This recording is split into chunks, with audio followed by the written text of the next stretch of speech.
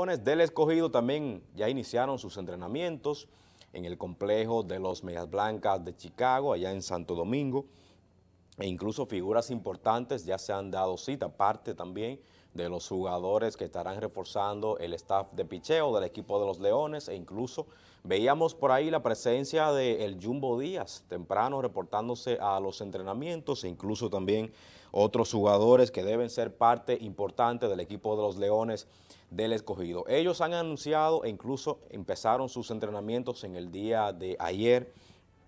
E incluso al igual que los Tigres de Licey, que también iniciaron en el día de ayer sus campos de entrenamientos. Tenemos algunas imágenes por ahí, señor director.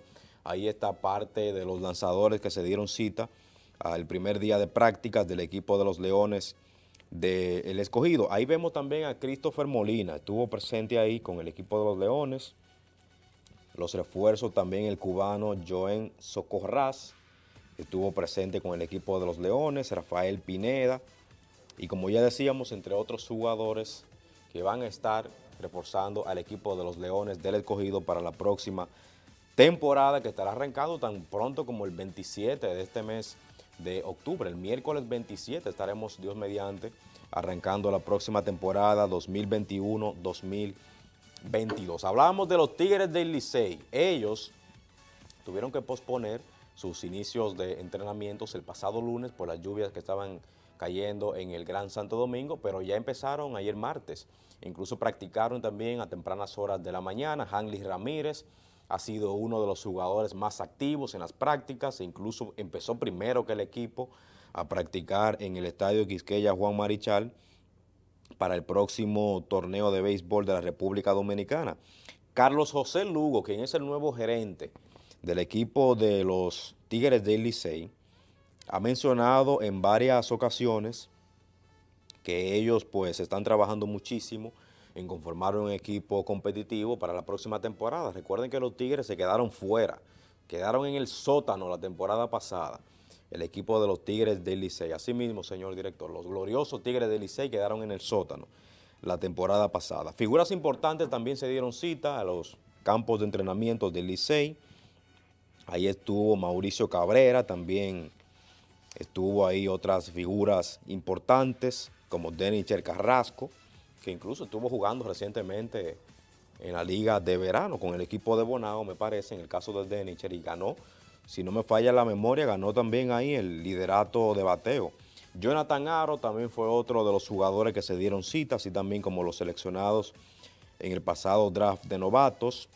Alan Cerda y también al Denis Sánchez, parte de esa juventud, de esa nueva camada del equipo de los Tigres de Licey, que ya se dieron también inicio a los entrenamientos de cara a la próxima temporada 2021-2022. Las Estrellas Orientales también, incluso ya tenemos a los seis equipos, ya están practicando, ya están cada uno de ellos anunciando la llegada de nuevos refuerzos, de jugadores estelares que se van integrando. Las Estrellas también contrataron dos lanzadores abridores, ambos, ambos son derechos, en el grupo de importados para la temporada de béisbol profesional, como ya decíamos.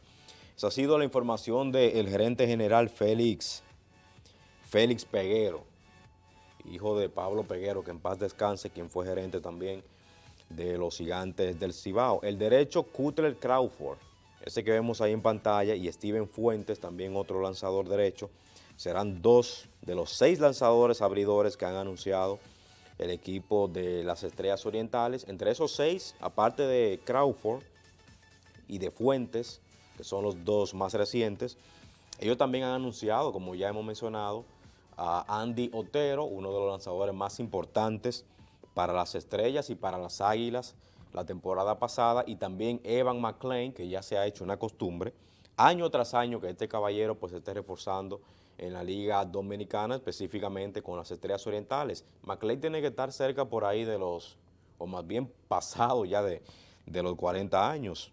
Es un veterano de mil y una batallas que se ha mantenido de manera constante con el equipo de las Estrellas Orientales y en la Liga Dominicana de Béisbol. Águilas Ibaeñas también el otro equipo de la pelota dominicana que también ha estado entrenando, el equipo también de los Toros, pues ya lo, ha hecho también hace unos días. E incluso a los Toros ya se integró a Adonis Rosa, que llegó recientemente a ese equipo vía cambio por el equipo de los gigantes del Cibao, ese cambio que enviábamos a Gilbert Celestino, que enviábamos también a O'Neill Cruz y a Adonis Rosa, por Jordani Valdespín, que llegó a San Francisco de Macorís.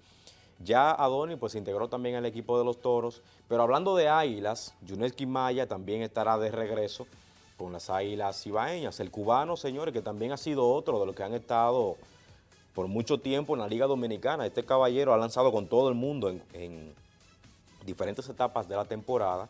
El único equipo que él no se ha puesto la camiseta ha sido las de los gigantes del Cibao. Luego de ahí reforzó a las estrellas, reforzó a los toros, estuvo con Elisei cuando llegó a la liga.